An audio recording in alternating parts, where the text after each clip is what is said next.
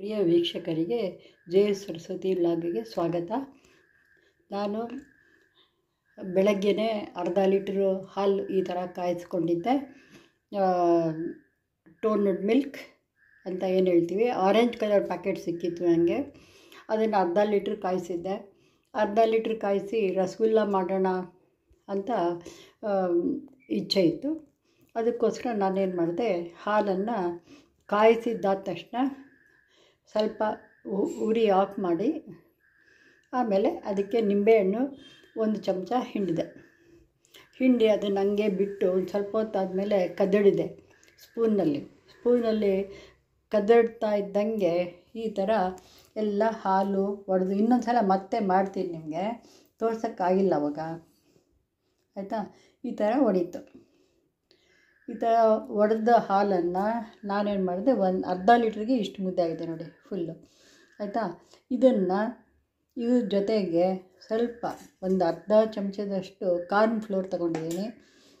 ಈ corn flour mix ಮಾಡಿಕೊಂಡು ಚೆನ್ನಾಗಿ ಮೆದ್ದಬೇಕು ಈ ಥರ ಈ ಥರ ಈ ಅಂಗ ಇದೆಯಲ್ಲ, ಇದರಲ್ಲಿ ಚೆನ್ನಾಗಿ ಫೋರ್ಸ್ ಕೊಟ್ಟು ನೈಸಾಗಿ ಆಗೋ ಥರ ಒಂದು ಹತ್ತು ನಿಮಿಷ ಅದನ್ನು ನಾದಬೇಕು. ಆಮೇಲೆ ನೈಸ್ ಆಗುತ್ತೆ ಆಮೇಲೆ ಕ್ರ್ಯಾಕ್ಸ್ ಇಲ್ಲದೆ ಇರೋ ಥರ ಉಂಡೆಗಳನ್ನು ಮಾಡ್ಕೋಬೇಕು. ಇದಕ್ಕೆ ಸ್ವಲ್ಪ ಕಮ್ಮಿ ಇರೋದ್ರಿಂದ ನಾನು ಇಷ್ಟು ಶುಗರ್ ತೆಗೆದುಕೊಂಡಿದ್ದೀನಿ ಇದರ ನಾಲ್ಕು ಪಟ್ಟು ನೀರು ಹಾಕ್ತೀನಿ. ಅದರಲ್ಲಿ ಅದು ಪಾಕ ಬರೋ ಕೆಲಸ ಇಲ್ಲ. ಅದು ಕರಗಿದ್ರೆ ಸಾಕು. ಆಯಿತಾ? ಕರಗಿದ್ರೆ ಸಾಕು. ಆಮೇಲೆ ಅದರಲ್ಲಿ ಈ ರಸಗುಲ್ಲ ನಾವು ಮಾಡ್ತೀವಲ್ಲ, ಅದನ್ನೆತ್ತಿ ಇದರಲ್ಲಿ ಹಾಕ್ತೀನಿ. ಅದು ಚೆನ್ನಾಗಿ ಬೇಯಬೇಕು. ಒಂದು ಇಪ್ಪತ್ತು ನಿಮಿಷ, ಐದು ನಿಮಿಷಕ್ಕೊಂದು ಸಲ ನಾವು ನೋಡಬೇಕು. ಇಪ್ಪತ್ತು ನಿಮಿಷ ಟೋಟಲಿ ಅದು ಬೇಯಬೇಕಾಗತ್ತೆ. ಬೆಂದಮೇಲೆ ಒಂದಕ್ಕೆ ಎರಡರಷ್ಟು ಆಗುತ್ತೆ. ನೋಡೋಣಂತೆ. ಫಸ್ಟು ನಾನು ಮಾಡ್ತೀನಿ. ಅದರದ್ದು, ಇದರದ್ದು ಉಂಡೆಗಳನ್ನು ಮಾಡಿ ನಿಮಗೆ ತೋರಿಸ್ತೀನಿ. ಇದನ್ನು ಕಾರ್ನ್ ಫ್ಲೋರ್ ಕೂಡ ಮಿಕ್ಸ್ ಮಾಡ್ಕೊಳ್ತೀನಿ. ಫಸ್ಟ್ ಅದನ್ನು ಒಂದು ಸ್ವಲ್ಪ ಮೇ ಮೆದ್ದಬೇಕು ಅದಾದಮೇಲೆ ನಾದಬೇಕು. ಅದಾದಮೇಲೆ ಇದನ್ನು ಸೇರಿಸಿ ಕಾರ್ನ್ ಫ್ಲೋರ್ನ ಮತ್ತೆ ನಾದಿ ಉಂಡೆಗಳನ್ನು ಮಾಡಿ ನೈಸಾಗಿ ಮಾಡ್ತೀನಿ. ಚಿಕ್ಕ ಚಿಕ್ಕದಾದ ರಸಗುಲ್ಲಗಳು ರಸಗುಲ್ಲಗಳು ನಾಲ್ಕು ನಾಲ್ಕು ಎಂಟೆರಡು ಹತ್ತಾಗಿದೆ ದೊಡ್ಡದಾಗಿದ್ದರೆ ಇಷ್ಟ ಆಗ್ತಿರ್ಲಿಲ್ಲ. ಆಯಿತಾ? ಸುಮಾರು ನೋಡಿ, ಇಷ್ಟು ದಪ್ಪ ಆಗಿದೆ. ಇದು ಸಕ್ಕರೆ ನೀರಿನಲ್ಲಿ ಹಾಕಿದ್ರೆ ಮತ್ತಷ್ಟು ಅದು ಬಾಯ್ಲ್ ಆಗಬೇಕು. ನೋಡಿ, ಬಾಯ್ಲ್ ಆಗೋಕ್ಕೆ ಇಟ್ಟಿದ್ದೀನಿ. ಓಕೆ?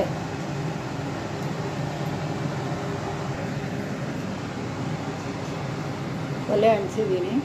ಸ್ಟವ್ ಅಂಟಿಸಿದ್ದೀನಿ. ಈಗ ಬಾಯ್ಲ್ ಆಗುತ್ತೆ. ಆಮೇಲೆ ನೋಡೋಣ. ಇಪ್ಪತ್ತು ನಿಮಿಷ ಬಾಯ್ಲ್ ಆಗಬೇಕು. ಇದಕ್ಕೆ ನಾನು ಯಾವುದೇ ಎಸೆನ್ಸು ಏನು ಸೇರಿಸಲ್ಲ. ಅಂದರೆ ಏಲಕ್ಕಿ ಸೇರಿಸ್ತೀವಲ್ವ? ಸಾಧಾರಣವಾಗಿ ಅದು ಸೇರಿಸಲ್ಲ. ಅದರೊಳಗಡೆ ಸೇರ್ಕೊಂಬಿಟ್ಟು ಹೊಡೆದೋಗೋ ಚಾನ್ಸಸ್ ಇದೆ. ಅದಕ್ಕೋಸ್ಕರ. ಅದರದ್ದೇ ಒಂದು ಫ್ಲೇವರ್ ಬರುತ್ತೆ.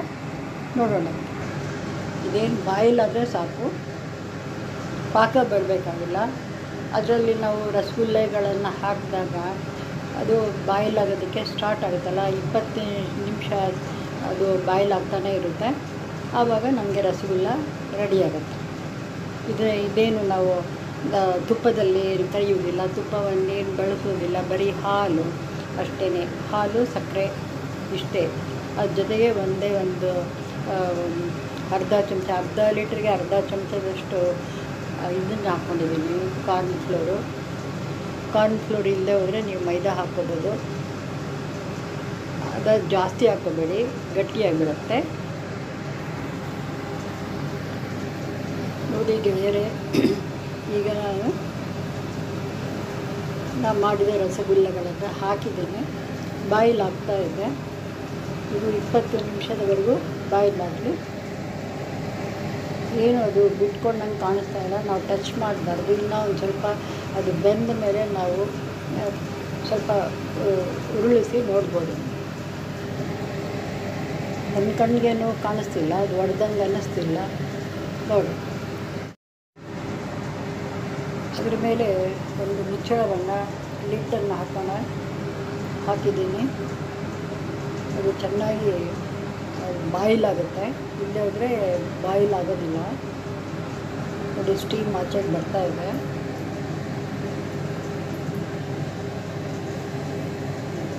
ಈ ಥರ ತೇಲ್ಬೇಕು. ತೇಲ್ತಾ ಇದೆ. ಬಿಟ್ಕೊಂಡಿಲ್ಲ. ಅದು ಇಂಪಾರ್ಟೆಂಟು ಗುಳಿಗಳಿರೋ ಈ ರೀತಿ ಆಗಿದೆ. ಯಾವುದು ಒಡೆದಿಲ್ಲ.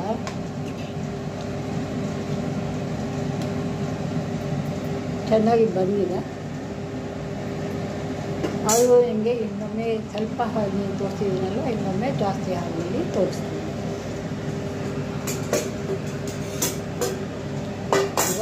ನಮ್ಮ ರಸಗುಲ್ಲ ರೆಡಿಯಾಗಿದೆ ಸವಿಯಲು ಸಿದ್ಧವಾಗಿದೆ.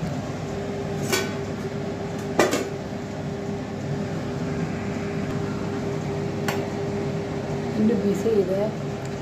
ಅಷ್ಟೊಂದು ನನಗೆ ಟಚ್ ಮಾಡಲಿಕ್ಕೆ ಆಗ್ತಿಲ್ಲ. ನೋಡಿ. ಪ್ರೆಸ್ ಮಾಡಿದರೆ ಮತ್ತೆ ಅದೇ ಪ್ಲೇಸ್ಗೆ ಬರ್ತಾ ಇದೆ. ನಾ ಇನ್ನೊಮ್ಮೆ ಮಾಡಿ ತೋರಿಸ್ತೀನಿ. ಅಂದರೆ ಜಾಸ್ತಿ ಹಾಲು ಹಾಕಿ. ಇದು ಜೇ ಸರ್ಸೋದಿಲ್ಲ ಲೈಕ್ ಮಾಡಿ ಶೇರ್ ಮಾಡಿ. ಸದಾ ಬೆಂಬಲ ನೀಡಿ. ನೀವು ಮಾಡಿ ಸವಿಯಿರಿ ಇದು ಬಹಳ ಈಸಿಯೆಸ್ಟ್ ರೆಸಿಪಿ ಇನ್ನೊಂದು ಸಲ ಮಾಡ್ತೀನಿ ನಾನು.